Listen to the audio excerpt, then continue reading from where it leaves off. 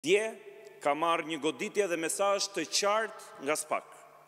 Në një vendim të turpshëm, skandaloz, të denjë për republikat e bananeve, ditën e djeshme organizata partnere që mbulon drejtësinë në Partinë Socialiste,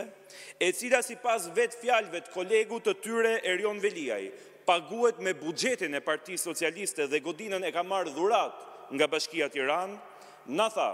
se përgjegjës për vjedhjen e njëqind e tridhjetë e dy milionë eurove janë dymbëdhjetë punonjës të thjeshtë të Bashkisë Tiranë dhe Ministrisë së Mjedisit, të cilët do të gjykohen për veprën e shpërdorimit të detyrës të kryer në bashkëpunim.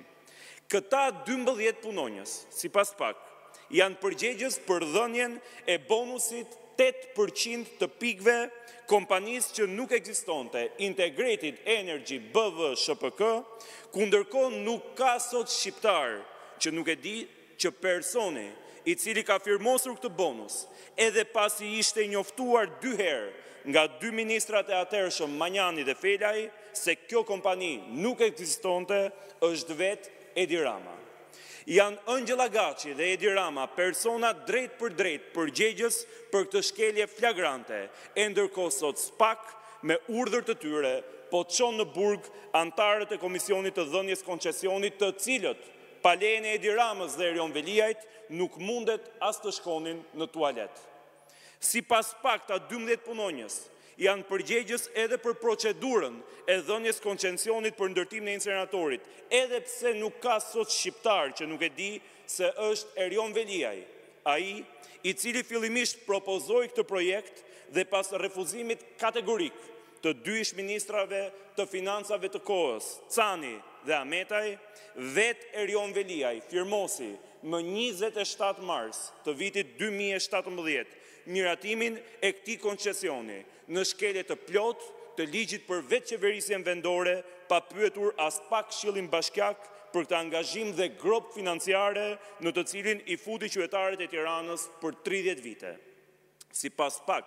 këta dymbëdhjetë punonjës janë përgjegjës edhe për të dhënat fiktive në studimin e fizibilitetit, i cili u përdor për të rritur fiktivisht tarifën e depozitimit të mbetjeve në njëzet e nëntë euro për ton, studim të cilin e kemi publikuar të plotë nga kjo foltore dhe me cilin kemi parë pronarin faktik të inceneratorit Tiranë të rrihte gjoksin, studio më studio. Duke thënë se po i kursente para qytetarëve të Tiranës përmes miratimit të këtij koncesioni hajdutërie dhe babëzie, i cili sot e ka çuar tarifën reale të pastrimit dhe depozitimit të mbetjeve të Tiranës në njëqind e një euro për ton nga tridhjetë e pesë euro për ton që ishte propozimi fillestar i IFC-së dhe Bankës Botërore. Të nderuar qytetarë, dy fjalë dua t'i them personalisht edhe si qytetar dhe djalë i këtij qyteti. E di që shumë prej jush janë lodhur apo mësuar tashmë me skandalet dhe vjedhjet e kësaj mazhorance. Unë e di që për ju nuk është më ndonjë habi apo lajm nëse Erion Veliaj ka vendosur të vjedhë me skemën pesë D të pesë drejtorëve apo me skemën shtatë S të shtatë specialistëve. Ne e dimë tashmë se në krye të Bashkisë Tiranë qëndron Erion Veliaj si simbol i hajdutërisë më banale që ka parë historia e këtij qyteti e në krye të qeverisë vijon të qëndrojë themeluesi i narkoshtetit të parë në Evropë, Edi Rama. Por ky moment kërkon edhe më shumë forcë, besim, kurajo e qëndrueshmëri nga të gjithë ne. Nga unë i pari, nga çdo opozitar dhe nga çdo shqiptar që ka vendosur të jetojë e të punojë në Shqipëri.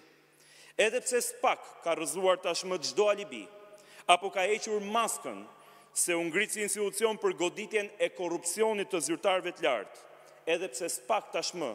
është rreshtuar totalisht në shërbim të verbër të pushtetit dhe është kthyer në vegël politike të qeverisë, ne nuk do të dorëzohemi. Garantojmë çdo qytetar shqiptar se Partia Demokratike do vijojë këtë betejë pa asnjë kompromis. Ne nuk do të tërhiqemi pa çuar para drejtësisë pronarin faktik të inceneratorit Tiranë, Erion Veliaj dhe pa diskutim, themeluesi i narkoshtetit të parë në Evropë, Edi Rama, do të ketë fundin më të zymtë politik e do të damkoset njëherë e përgjithmonë, si kreu i një karteli droge dhe jo si kreu i një shteti të lirë e demokratik. Në ditët në vijim, ne do të vazhdojmë publikimin e dokumentave të reja për aferën e inceneratorit Tiranë, si vjedhjen më flagrante e të dokumentuar që ka ndodhur ndonjëherë në Shqipëri. Garantojmë qytetarët shqiptarë se çdo zyrtar, prokuror apo gjyqtar qoftë, që bëhet palë dhe rreshtohet krah hajdutëve në qeveri dhe grupit të strukturuar kriminal në Bashkinë Tiranë, do të mbajë përgjegjësi një ditë para ligjit dhe qytetarëve shqiptarë. Ju faleminderit.